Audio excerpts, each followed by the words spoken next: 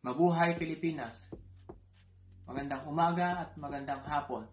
Ako nga pala si Iris Valenzuela, pro cyclist and LBC Ronda Pilipinas Champion 2013 at second fastest man at 24 hours endurance race ng Team Sarto sa Netherlands.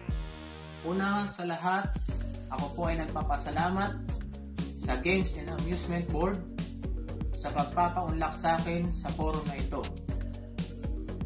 Sana ay nasa mabuting kalagayan ang lahat, lalo't sa kinakaharap nating pandemya.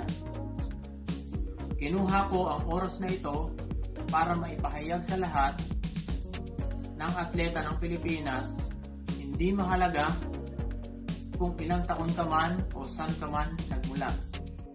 Basta may pangarap at tamang dedikasyon sa pag-iisip para maabot ang lahat ng mga pangarap natin.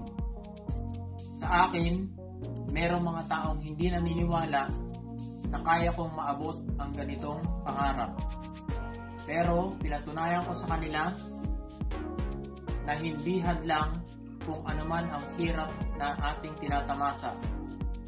Basta mag-focus ka lamang sa iyong sarili para maabot mo ang iyong minimiting tagumpay. At kung kayo, kaya ko, kaya nyo ring lahat. Lahat naman ay nagdadaan sa hirap bago guminhawa. Pero darating ang araw na ikaw naman ang makikilala. Maraming maraming salamat sa inyong lahat Wishing you all the best 2021.